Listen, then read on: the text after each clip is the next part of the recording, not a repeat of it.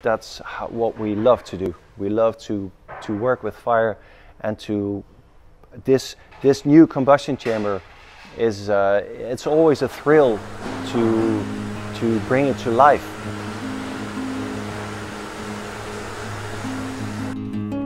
This is the Lobo door. Well, first of all, it's pretty thick and heavy and made out of one piece. Look at that. Spacings are CNC cut inside this door. Look at that. And I personally very much like these facet finishing. Look at that. Follow me. Unloaded uh, inside, so there's no rain on the steel. And since our suppliers are in, in the closer proximity, we can work with limited stock and still have a delivery time more or less than a month. Sometimes it's an average of, of less than two weeks, which is fantastic.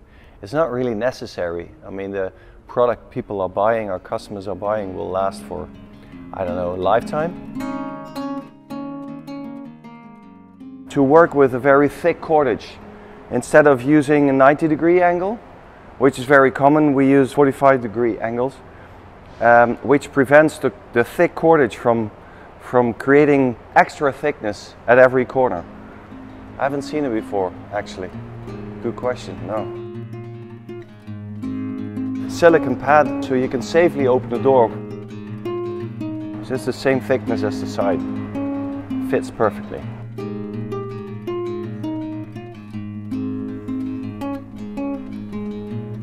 Beautiful. I like this. Uh, nice and warm because we need to heat this place so the steel has a certain temperature before it is processed. Now, just imagine that the spray paint we use is heat resistant up to a temperature above 600 degrees. That's, I, find that amazing. Uh, I still, still don't know exactly how that's possible. I, I actually want to know. Maybe I should visit them. This is the back casing of the Suran. It's simple. It's simplicity. you see me doing this? That's that's the shape. It makes you it makes you want to cuddle it. I don't know. So that's Mark, our craftsman for the spray paint. They shift. They work in shifts. So Jason works as a spray painter and also in the preparation. So then they know what to do exactly because they're aware of the next phase. Done by hand as well. This is a monocoque construction, meaning that the casing is made out of one part. You can see it starts here and it ends here, and that adds a lot of strength. Actually, with a part that we cut out for the back casing of the Suran, as less lost material as possible. But I like that, that it's done by hand. I like that it's difficult. Uh, it's a challenge, that it's hard. If it's hard for us, it's hard for everybody, I can imagine. How we finished this created uh, an opening in the, in the top part. The hotter this part gets, uh, the more ventilation is created, keeping this handle cool. Now you know.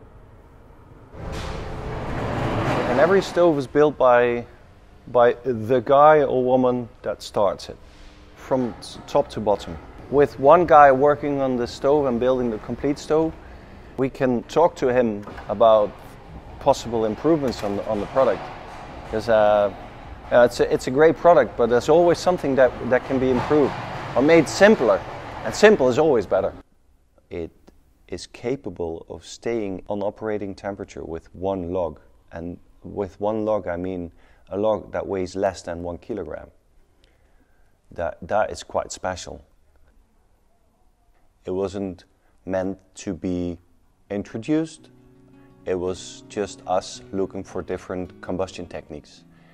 And then there was the Boxer Plus, and then someone saw it and told us this is a fantastic stove, you should maybe try to sell it, and we did, and it was a bestseller.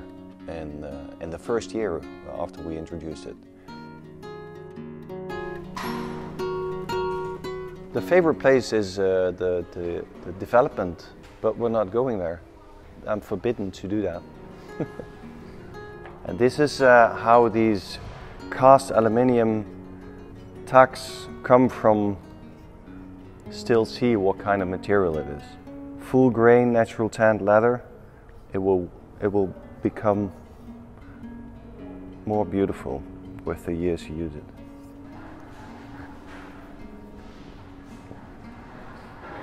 I think we're um, quite unique. We, we have about 40 models with 12 combustion chambers. That is, um, that's outstanding. And it, it tells something about who we are, how we are in this business.